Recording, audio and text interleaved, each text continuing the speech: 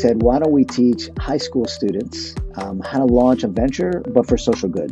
This fall, we'll work with over 18,000 students. Uh, we've 20x our revenue. The growth has been incredible. So, a lot of people will see problems and say, oh, that's a problem. Someone else will solve it, or it's a problem, it's a roadblock. Entrepreneurs see problems as opportunities to make things better. Hello, my name is Dylan Scott. I'm the digital content producer at Techstars. Today, we're going to be talking to Marc Steren, the CEO and founder of University Startups. University Startups was a member of our inaugural Washington, D.C., powered by JP Morgan cohort. And they're focused on empowering and teaching entrepreneurial skills and mindsets and abilities to underprivileged and under resourced youths in communities. Marc is a serial founder, and he's going to talk to us about the process of building university startups, what his experience was like going through Techstars, and he's also going to share some tips and insights for founders and especially for youths who are thinking about following the path to entrepreneurship. Be sure to stay tuned for the entire episode and make sure to like, follow, and subscribe to Techstars for more content like this. Thank you and enjoy the show. Marc, it's a pleasure to have you here today. Thanks so much for joining us. Yeah, good morning. Thanks for having me. So let's just get started. Why don't you tell me about your background a little bit? Give me the story of you and university startups. Yeah, awesome. So I'm a five time founder. Um, kind of went into semi retirement, went into education, thinking of ways that we could take our experience and, and help others. So uh, I taught in K 12. I was a professor at Georgetown University in the business school. And actually, during COVID, uh, me and a, a, colleague were kind of bored. So we said, why don't we teach high school students um, how to launch a venture, but for social good? And again, this was during COVID. We thought we'd get 20 kids uh, signed up for the course. We ended up getting 67 high school students from California to Florida signed up. You know, no big deal. It was really exciting, a great course, but something really cool happened. Um, about six months later, I started getting emails saying, Hey, professor, want to let you know I wrote about this experience, got into Dartmouth, got into Harvard, and used that as part of their college essay. Just tremendous outcomes. But listen, I'm a five time founder. I told my wife, don't stress it. No startups are coming on board. You know, this is just fun. It was just something I did during the summer. But then, Dylan, I got a call from a foundation in 2021 saying, Hey, Marc, I heard what you're doing with these students. What about the students we work with, the under resourced students? And oh my gosh, it was such an awakening. Like we are not doing enough to democratize the opportunity for uh, so many of these amazing students and uh, to give them pathways. So we gave, um, you know, gave this a, a, talk with my co-founder. We decided to put together, put the band together. We have professors from, you know, Johns Hopkins, Cornell University, Georgetown University, and SMEs and college counseling.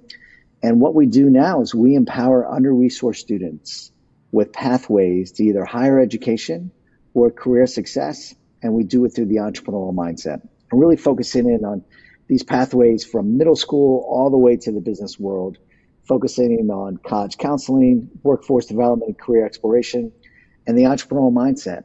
And it is transformative. So we're, we're really excited about the growth of the company. That's amazing. Can you walk me through some of the traction that you've seen through your products and services? Yeah. So when we did Techstars, uh, powered by JP Morgan in uh, last year, that ended last December, we were doing about 2,000 students, um, and our MRR was about 3,600. This fall, we'll work with over 18,000 students. Uh, we've 20x our revenue. We've entered new markets like New York City, Dallas, Texas. We're going to be working in Arkansas the growth has been incredible. We've doubled our size of our employees. It's just, um, it's really exciting to see our growth and our net retention rate really is close to 20 to 25x as well. And so the growth of the company, it, it's obviously amazing and huge kudos and commendations to you from me and the Techstars team. We we obviously really love what you're doing because you're focused on you know teaching the skills of entrepreneurial abilities not only to younger people and younger generations, but also to you know underprivileged, under resourced people, which you know we preach above many other things. And I'm curious, what kind of impact has it had on you as a founder, as a person? Um, how has it changed you? Just talk me through sort of what's been going on inside your head for the past few years working on this project. Yeah, so two two things really happened. One, you know, as all my colleagues know, being an entrepreneur is super hard. It is just, you know, from four in the morning till midnight, you're just working seven days a week. And, you know, I'm not unique. We're, we're all hitting the grind. But imagine you wake up every day being inspired, knowing that you're having an impact, not just on the individual that goes through the program, but it's generational change. So an individual that wasn't thinking about going to college now goes to college or gets a great paying job that impacts their little brother or their little sister. That impacts the parent in the home saying, wow, you know, she's doing it. I can better myself away. So the impact has been incredible. So every day I am blessed to be part of this company. And quite candidly, it's been a great retention tool. I have the best people, you know, the a most amazing team who come in and say, I want to work with you. You know, when I, I put an ad on LinkedIn, I have 150 resumes by you know the time I wake up the next morning. It is just incredible because people want to be part of that, knowing that they can help others, and you know, quite selfishly, it makes me feel awesome uh, knowing that we can do this. And the last thing is, I, I wanted a company that me and my co-founder and my colleagues could turn to our children, and they could say, "My dad worked here," or "My mom works here," and that's really important to us um, and it's been really exciting. And just give an example of the impact we're having in the communities, um, we work with one school district that has the eighth highest murder rate in the country. 52% of those individuals that went through the program at the beginning of that said they weren't very hopeful for the future. 52%. That means 48% of these kids are not hopeful for their future. At the end of the program, 93% of those kids say they're now hopeful for the future. I mean, just imagine the transition that they're going to have in their life, thinking about there's now hope and they can be better and they can have a better future. So it's just to be part of that mission and that company is super exciting. So, what's bringing kids to these programs then? If, if there are so many, you know, young adults that are going into it saying, "Oh, I'm not hopeful of the future," that might seem like a reason for them to not be interested in pursuing one of these possibilities. How are you reaching out to them and getting in touch with them and making it so that they feel, you know, welcomed and supported by university startups? Yeah, awesome. So we're a business to education business. In other words, what we'll do is we'll partner with a school district or a school or even a nonprofit, and we're that programming partner. So think of someone, you know, who's working six classes a day and they want to embed the entrepreneurial mindset into these kids. We now provide that programming for that teacher to empower them. So the teacher feels like they're teaching something awesome. The student now feels something awesome, but from the student's perspective, it's seamless, right? It's just another class being taught by one of their, their teachers, or it's async at a time program that they're doing on their own time but the engagement levels are through the roof. So the teacher is psyched because, hey, I'm teaching something the kids love. The students are jazzed because it's impacting their future. And we provide an impact report to all our clients every semester where we measure 42 skills, not just the entrepreneurial mindset, not just outcomes, but optimism, positivity. So you're seeing an ancillary effect in these communities where students are feeling better about themselves. They're more self confident and it's measured. So not only will they do better in that particular class, they'll do better in their other classes. So it's a win win for the entire district. So we're we're excited about that change. Yeah, absolutely. That's awesome. I, I mean, I can you know look back on being a student in high school, and um, when I, I can particularly remember when I would have one class that I really, really liked. For me, it was physics. I loved mm. physics. I loved my physics teacher. I loved the curriculum.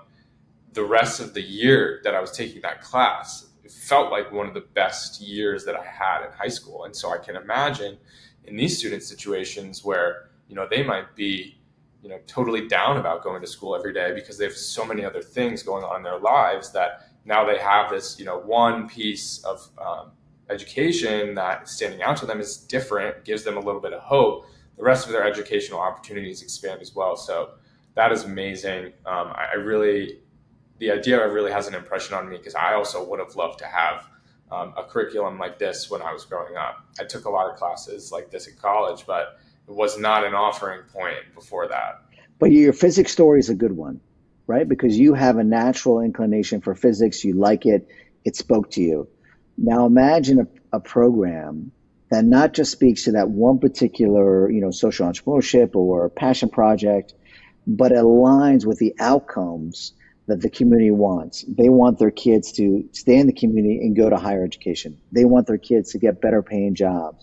They want to, to explore career clusters and they want to do it in such a manner that they're jazzed to come to that class. And so the teachers are telling us, thank you for making us look great. The students are, you know, as we're observing and reading reports, like, thank you for giving us something that's fun and engaging. And then the employers are saying, thank you for giving these kids something useful that are actual, you know, that makes them have employable skills that when they, I hire them, they become better employees. So that's really, it's just a win-win for everybody. Yeah. So I want to dig into that a little bit deeper. What about the curriculum of entrepreneurship creates or, or produces those sort of skill sets that you see are transfer transferable to higher education or you know a workforce type um, position. Because I almost have this um, feeling of like entrepreneurs don't necessarily need to go to school. Like a lot of them they get this idea and you know it's it's game changing or they just you know they quit everything else that they're doing and they hit the ground running mm-hmm. on their idea uh, but it seems like you're taking a bit of a different approach. So, what is it about your program and the entrepreneurial skill set that you're teaching that is so transferable? Yeah, so we changed their mindset. So, a lot of people will see problems and say, oh, that's a problem. Someone else will solve it, or it's a problem, it's a roadblock. Entrepreneurs see problems as opportunities to make things better. And that, that's what we really do. So, we had this wonderful student went through the program, went through the workforce development program, and she really had a very strong passion for social justice. It was really important to her. She didn't know it's a job. She didn't know it's a fellowship opportunity. She went into the program, learned her skills, her passion, matched with this fellowship in Washington D.C. for this social fellow for social justice fellowship. She learned how to build a resume to avoid the applicant tracking system, learned to build her socials. So when an employer dove into her socials, it said she's a great employee for social justice. And then she learned to interview for that particular job. She then went into, um, you know, she got the job, which is super exciting. She's like, wow, this is cool. I'm, you know, what about college? I didn't even think about college. And then she went into the college counseling program, learned about the financial tools, learned to take her experiences, write about them in such a manner that now she goes to Howard University and is thriving. It's that mindset. So being a professor at Georgetown University, I learned nine out of 10 of my students don't become entrepreneurs, don't continue that. But do they learn the skills to mm-hmm. think through problems, work as a team, be accountable, set deadlines, set specific goals? These are all entrepreneurial skills mm-hmm. that, man, wherever you work, you're going to need them. Our desire too is that if you want to go into hospitality, we don't want you to just be the cashier, which is a great entry point. We want you to become the general manager, or we want you to become the franchisee. Like, how can you think aspirationally to get where you need to go to have a better paying job? So that's that's entrepreneurial uh, thinking, and that's what we really embed in the students. Yeah, and that's amazing. I mean, these are skills, like you said, that are required and make your life better in many aspects of life. And I think it speaks to the point of entrepreneurial endeavors not necessarily being you know your job or your profession it, it is a lifestyle and i'm sure you can speak to that um, being you know a, a, serial founder you know multiple founding companies so um, i'm curious in the beginning when you know maybe right after covid when you're working on university startups you decided there's a need for this is there one um, instance that really stands out in your mind as really selling yourself to this being the future of what you're going to do and pursue for the next you know five ten however many years as you see this continuing for yeah so we did a um, a girls um, nonprofit. We work with them, provide a programming partner. They're all over. It's, it's an amazing nonprofit. And when we read to her, the executive director the impact report, and the impact that we're having on these kids, she was crying. She was literally crying in our meeting. And it was just like, wow, like we are really impacting these kids in a manner and in a way that just hasn't been done before. So that to me was like really, even thinking about now, I'm getting like a little choked up because just her reaction of you can impact someone's life in a way that is unique and special. We're providing our skills, my life training of being a professor, and an entrepreneur, my colleagues, and these amazing folks. Like we've done in such a manner that we can help people better their lives. It was it was exciting, and we knew we are on to something really special um, when that happened. Uh, the second event is our clients don't just sign up; they like 10x or 20x their contracts. It is insane you know, the, the we're taking a ten thousand dollar contract and turn it into a two hundred eighty five thousand dollar contract. It's just unbelievable the reaction that we're getting from these school districts, these schools. Um, so those are the two things that kind of stick out. Yeah, I can imagine that you know clients 10xing, 20xing their contracts would be something that would uh, reassure you that this is probably you know an impactful uh, startup. Yeah, it's been fun. It's been exciting. That's awesome. Um, so what's the next uh, what's the next steps for university startups for you? Yeah, so we're we're in growth. We're in total growth mode. I mean, I, I have about 15 meetings on my calendar today. Um, we can't hire fast enough. We are just growing. You know, we just signed uh, schools in Texas, signed that deal with a nonprofit in Arkansas.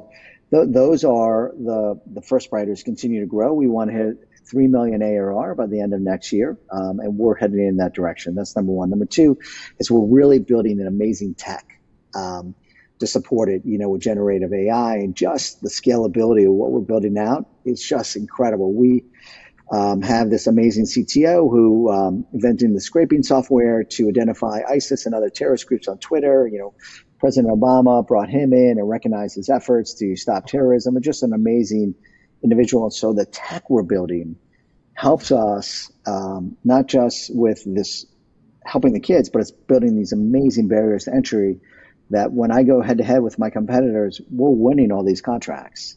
So that's, you know, it. Focusing on growth, focusing on great technology, but most importantly, helping these kids have a better future. That's a number one. And get to our mission to impact 3 million students. That's our goal. Mm-hmm that's a great goal to have, and that's a very impressive person to have on your team. It's awesome. It's awesome. Um, so you raised a handful of money about a year ago, or how long ago was it? So we actually just finished uh, raising our seed. So in total, we've raised about two point four. Um, okay. So that's gonna, you know, propel our growth to the three million ARR next year. And mm-hmm. then, you know, we're going to continue to grow from there. We'll go to our much larger Series A from there well, con- congratulations on the seed. Thanks. It's very impressive. I know it's been a downtime for entrepreneurs in terms of raising, and every single dollar counts. And I imagine that every single dollar that you have is going to be utilized in a very efficient manner, and just every single place that it can help across the board. Um, so that's amazing. I am curious about what you're hearing from the students in the program not necessarily like, oh, this is, you know, an amazing program. I've learned so much, blah, blah, blah. But what are they interested in? What are they curious about? What are they using? You know, the skills that you're teaching them to go, to then go and pursue afterwards, or even during, if that's you know something that they do during the pro- process. Yeah, something's really cool is happening in these in these courses and these you know through our technology and through the platform. They're looking to solve problems in their own community. So mm-hmm. obviously we measure 42 metrics and then we do a qualitative um, interviews as well. And the quotes are, you know, now I want to stop violence in my community. I want to set up a mentorship program from the high school to the middle school. They are looking at things that they want to solve. And I'll give you an example. We had this one student team that came up with a teddy bear, um, you know, because they really want to hold on to it because they're not in the best neighborhood. They hear gunfire. It's just not overly safe. But the clever innovation was is they put a QR code on the bottom of the teddy bear so you could flash your mobile device and it sent you to a psychologist 24 7 right? That was their product because they're looking to solve community issues that, quite candidly, if I don't live in that community, I don't have their perspective. I, you know, I can empathize and, and sympathize, but they are living it. So if yeah. you give them the tools to be empowered to solve community issues and build a better community, that is life changing. So that, mm-hmm. that to me is the most exciting component of what we're doing, the community wise program. Yeah, it's almost like you're fostering them to build like a militia of entrepreneurs to help their community, keep them safe, push them towards new goals and new opportunities. That's really, really cool. Yeah, it's, it's an ecosystem. You know, our by working with school districts, we can see the middle school and high school students start to build that ecosystem. And as they bring in their businesses and build those pathways to the businesses, the school district feels like, you know, my kid's not going to leave this community. They, they want to stay and they want to make this a better place to live. And that's empowering for the school administrators, empowering for the students, but it's empowering for the community at large, right? Here's a whole new, you know, your words, militia. Here's a whole new group of folks that want to solve our issues that we as adults just can't seem to solve for whatever reason. And they got such great ideas. So it's really cool working with them. Yeah. So let's uh, change directions a little bit. And I want to talk about your experience with Techstars. So you were uh, JP Morgan, Washington, D.C.'s inaugural program.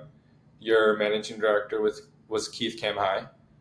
Walk me through that experience. What was the process like before, during, what's it been like after? Yeah, so I, I tease Keith because I, I, ran the Georgetown University incubator for about six, seven years.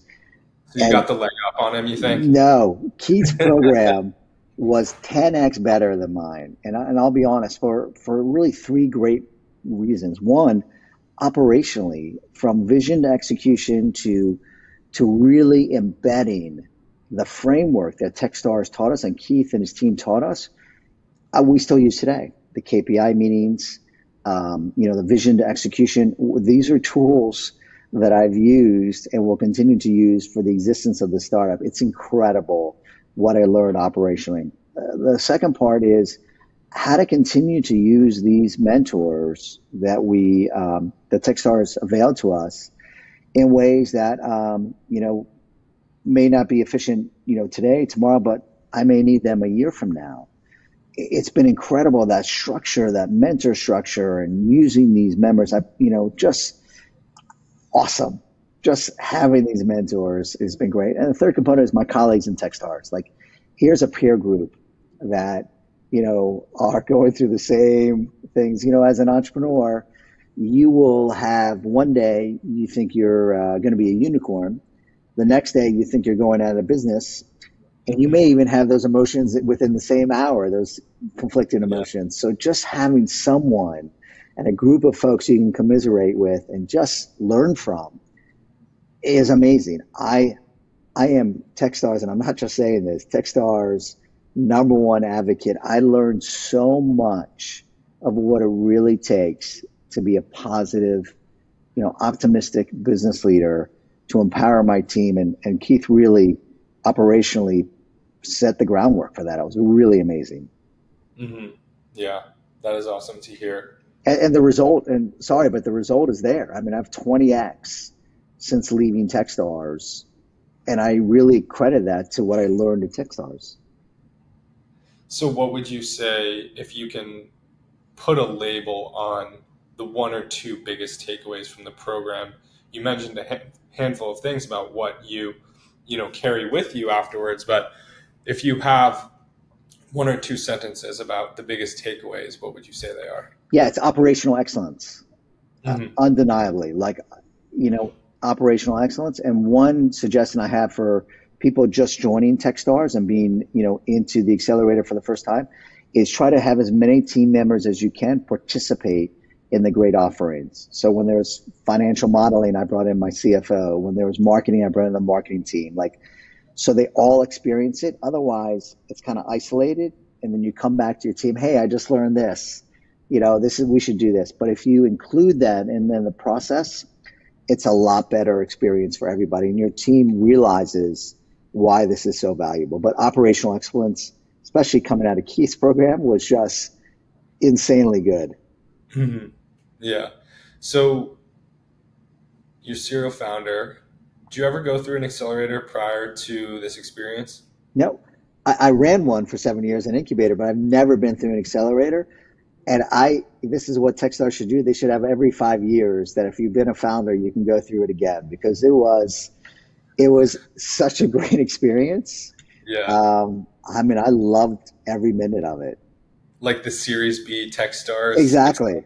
exactly. Like how to get you to the next round. You know, yeah. it was just life changing. I mean, and I'm not just saying that life changing for me, life changing for my co-founder, life changing for our team and for our company. It's just propelled us on a trajectory that we are now on um, that we weren't on before, quite candidly.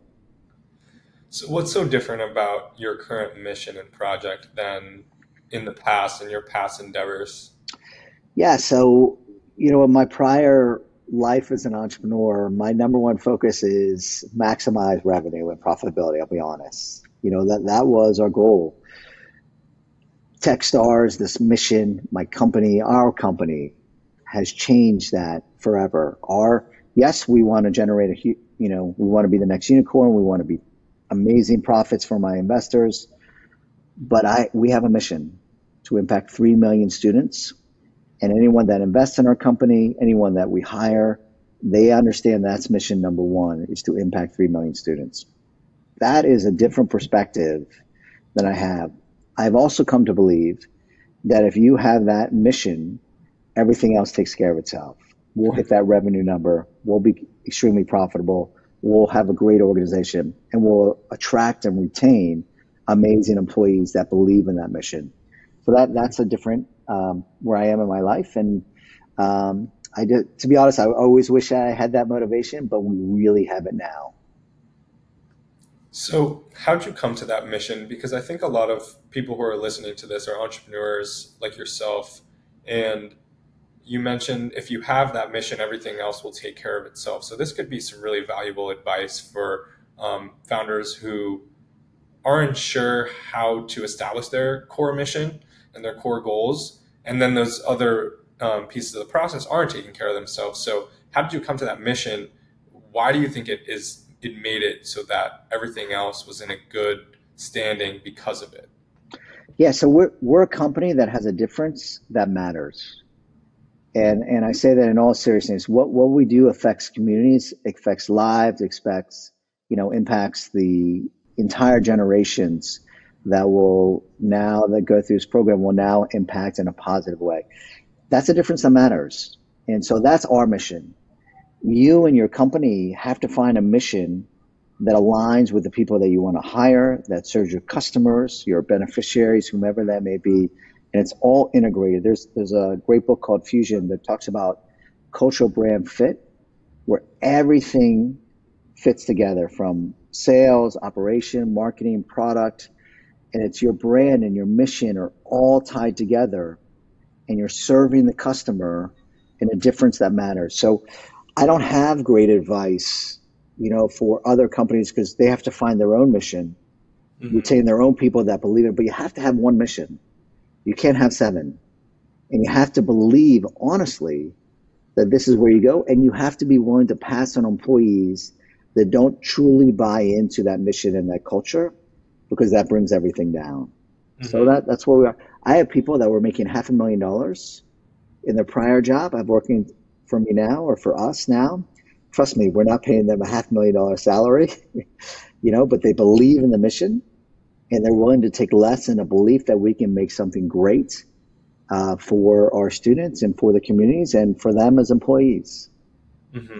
That's good. That's really good to have, you know, a solid team that is behind the mission constantly. A question that's been buzzing around my head since before we even had this interview, and it, it stems from what you're doing with university startups, but also just a general curiosity do you strongly believe that entrepreneurship is teachable to anyone? Yeah, it's an awesome question. So we take a slightly different approach. I believe the entrepreneurial mindset is teachable to everyone. I, I let me just say I, I don't think there are those, you know, who are just born entrepreneurs. Mm-hmm. I don't believe that. But I do believe the environment you create and the transformation of the mindset can all be learned. That you can be less risk averse, go through our, our program, have the proper environment, have the proper mentorship, have the proper inspiration, and become more risk averse. I, am more willing to take more risk. Mm-hmm. I believe that you can come into our program not hopeful for your future, go through the program and see the possibilities, and you can think about I can have a better future. Mm-hmm. So that's what I really focus in on is that thinking you can be better. You can have a better future. And you really do that through entrepreneurial thinking. So whether or not they start their own company is less important to me than inspiring someone to think I can be a better person, I can have a better future. I am not stuck in this rat race that I, I can do things different and better than what I thought I could do just six months ago. That to me is exciting. Whether they choose to do their own startup, great, cool, awesome. But if they can be employee number two, or if they can be, you know, the operations manager or marketing and willing to, you know, have a future focus that to me is you know is game changing. It's exciting, and that's what we focus in on.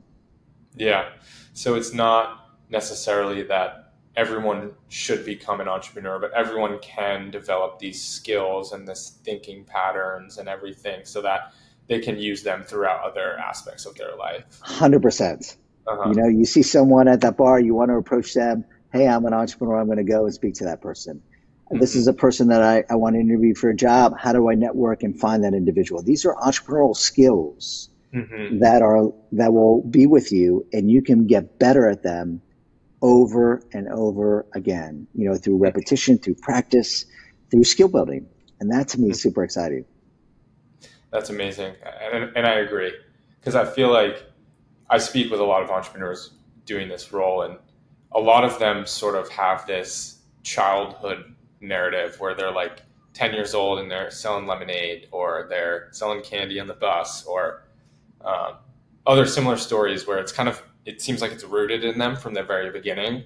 Um, but I, i've always wondered like could i teach or could anyone be taught how to do this if they wanted to do it?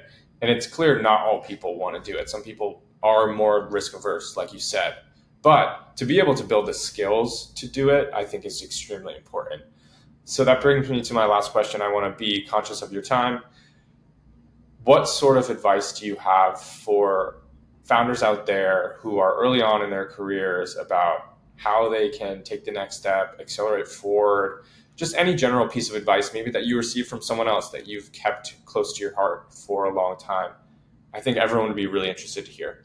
Yeah, so there's a couple things that just immediately just jump out. One is when you bring on co-founders or you bring on employees, make sure uh, that they have different skill sets than you. Right? There's no point of hiring two Marc Sterens.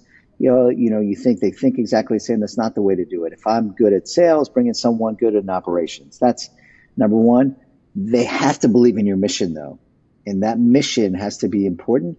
But bringing in diverse and inclusive people who just think differently is so important to the success of your program. The second thing is get a mentor. You know, Michael Jordan, all the greatest athletes in the world have coaches, individual coaches, not just team coaches.